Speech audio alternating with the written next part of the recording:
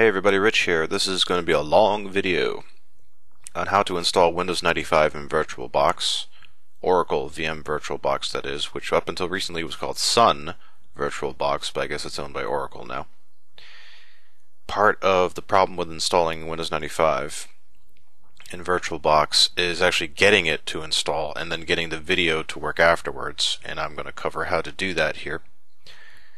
So let's just get to it. Now the first thing I'm going to do, these are my other machines that I have right now. Oh, also before continuing, I'm assuming this will be the same in Mac OS 10, Solaris, or Linux. Should be.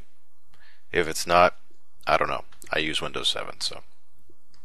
First thing we do is we go to the Virtual Media Manager, File, then Virtual Media Manager, and I have a CD DVD image of Windows 95 here but I need to add in a floppy image. Now what I did is that I downloaded a torrent of Windows 95 floppy disk edition and the only thing I need here is the actual installation disk.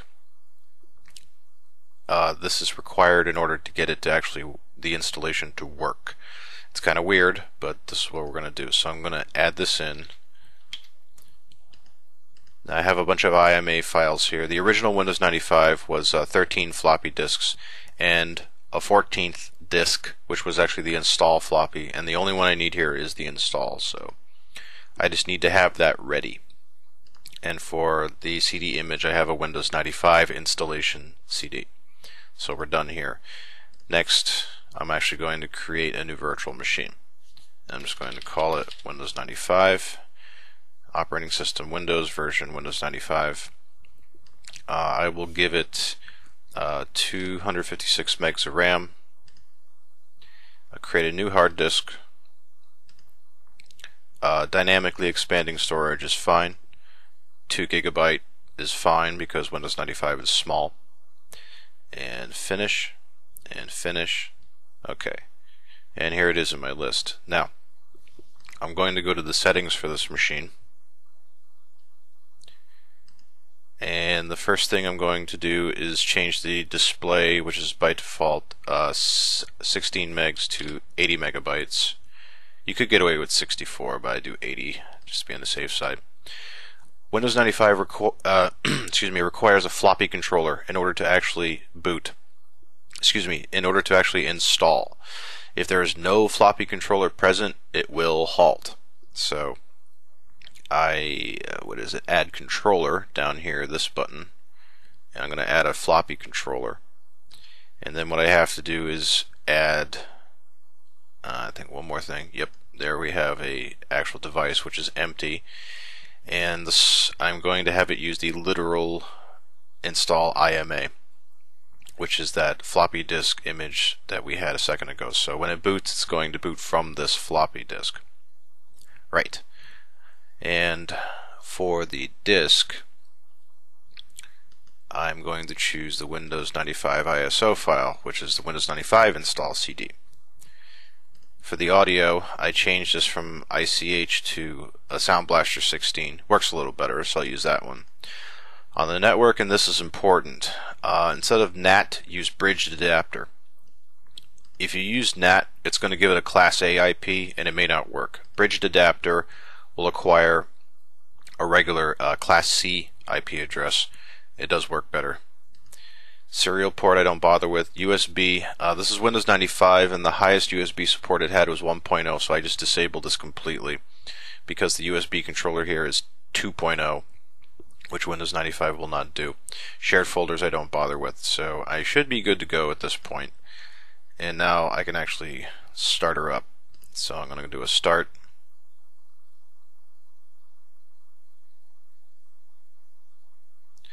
Okay, now the first thing we're going to do here is let Windows partition and format the drive. So I'm going to do press enter, configure unallocated disk space. Setup will restart your computer now. Make sure the boot disk is in drive A, which it is, because I have install IMA attached.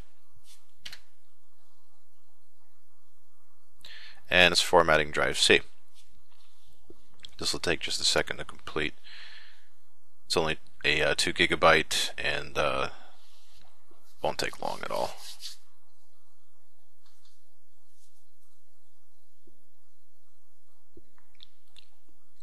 Okay, it's done. Now, at this point, here's where we have to change the way we do things. F3 to get out of here. F3 again to get out of here. okay, so right now we're on the floppy disk.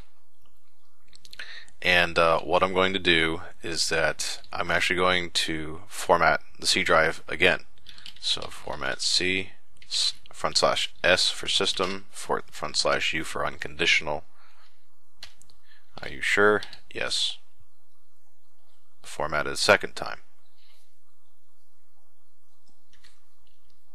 And then after that, give it uh, no volume label. So what I'm going to do is just power off the machine, close, power off. Right, okay. Now, at this point, I'm going to go back to settings, go to storage, and change the install IMA to the host drive A. Now, if you don't have a host drive A as in a literal floppy disk drive in your computer, you can just do empty, but I'm using the host drive. And then I have the uh, CD DVD device, so now it should boot from the CD. So we're going to go ahead and start again.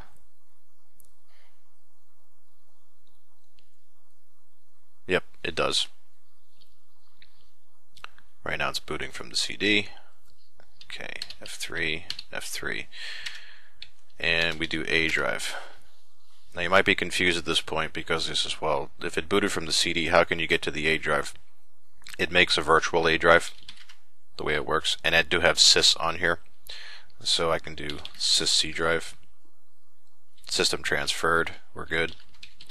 Now at this point I have to copy the uh, cabinet files from the Windows 95 CD over to Windows uh, excuse me, over to the C drive. So I'm going to make a directory called Windows, then Windows slash options, then Windows, if I could type it, options, cabs. Change to that directory. Now, for those of you that remember, this is how Windows came bundled with PCs back in the day is they put it into a cabs directory. I'm just following that rhetoric. You could actually just put it in a directory called install or Win95, whatever you want, but I do it the old fashioned way. On the X drive, which is what the CD is for the Windows 95 thing, it's X drive Win95 and there are all my cabs. So I'm going to copy everything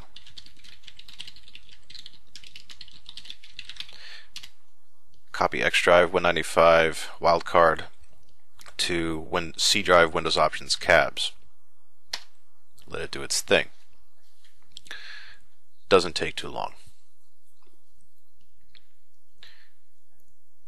So there, I think there's something like 17 cabs on this one. I'm not sure what version of 95 this is. This is either um, A or B. No, 17 cabs. Okay, so at this point we've got all our installation files ready. And uh, once again, I'm going to go and power off the machine. Now here's where it gets really interesting. what I'm going to do is actually boot from the floppy, but I'm going to run the installer from the C drive. This sounds screwed up, but it's the only way to get the actual installer to work. It's messed up, but that's the way you do it. So, I go to the settings once again, go to storage, change the floppy device to the install. Um, at this point, I actually do not need the uh, CD anymore. So what I'll do is I'll just set this to host drive D. Um, or actually, I could just, I could set it to empty if I want to, but I'll just set it to host drive D. So because everything's on the C drive, and start the machine again.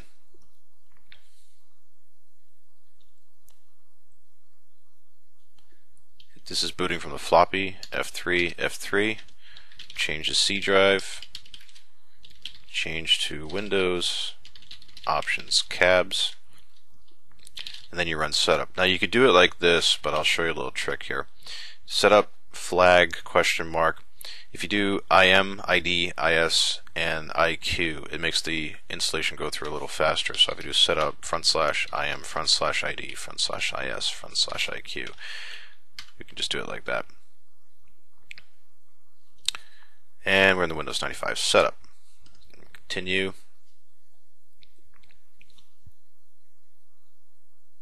There will be portions of this video that I'm going to skip, obviously, because during the installation you obviously don't want to watch that. So,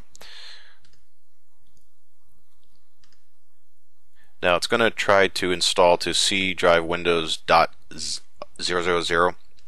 You want to change this to other directory, just the C drive Windows. It's going to give a warning, and you say yes.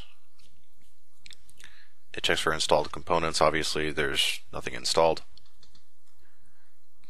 but it has to check anyway. Uh, typical installation is fine. You put in your product ID. Uh, I put in our user information.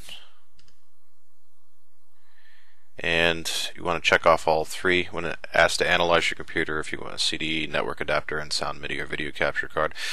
The way this is set up, uh, in VirtualBox, it will detect the sound and the network adapter and the CD. It will do it no problem. You don't require extra drivers for that.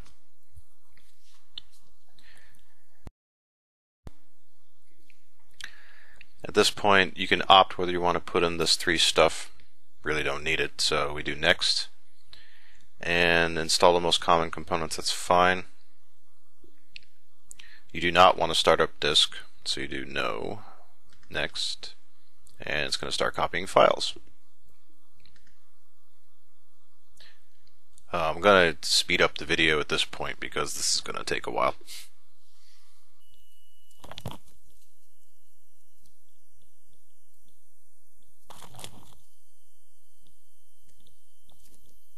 Okay, at this point setup is finished, so we're going to go ahead and hit finish. Now it says to set up detected a disk in your floppy disk drive, please remove all disks. Click OK to restart your computer. So release, device, floppy, we'll just do host drive A. And there's no CD at this point, and there's no floppy at this point, and we're good. Hit OK. Now, if you get this error that says fatal, could not read from boot medium system halted, don't worry about it. Machine, close, power off, and just restart it again. Actually, before we restart, let's just make sure, yeah, host drive D, host drive A, and we're good there, so we'll start it again.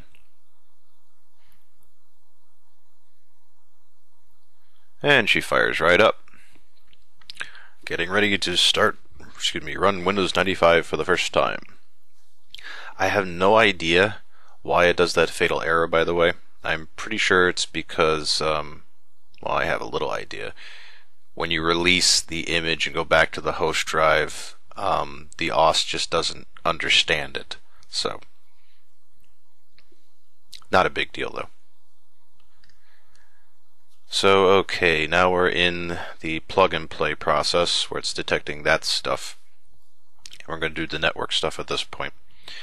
And uh, let me just set this up. Computer name my work group name.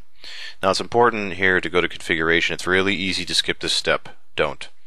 Go to configuration. There's no TCP IP protocol in here by default, so we have to add that in.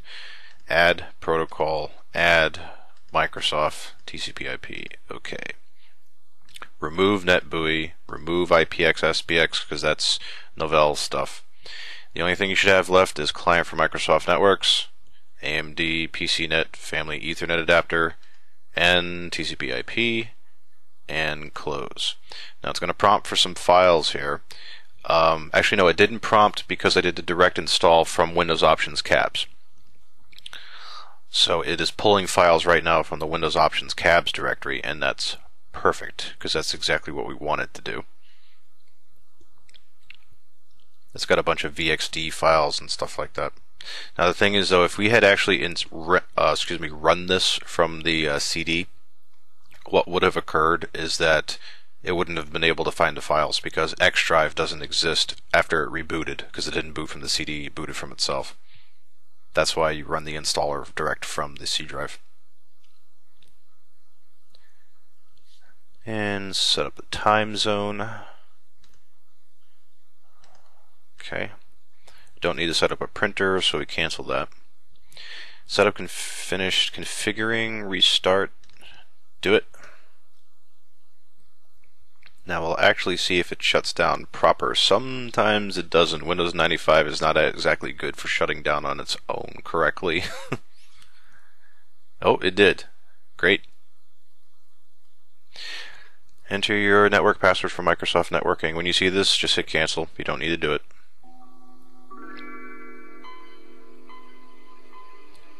And Windows 95 is officially working in VirtualBox. I should get the welcome screen in a moment. And there it is. Stay tuned for part two, and we'll show you what to do post installation.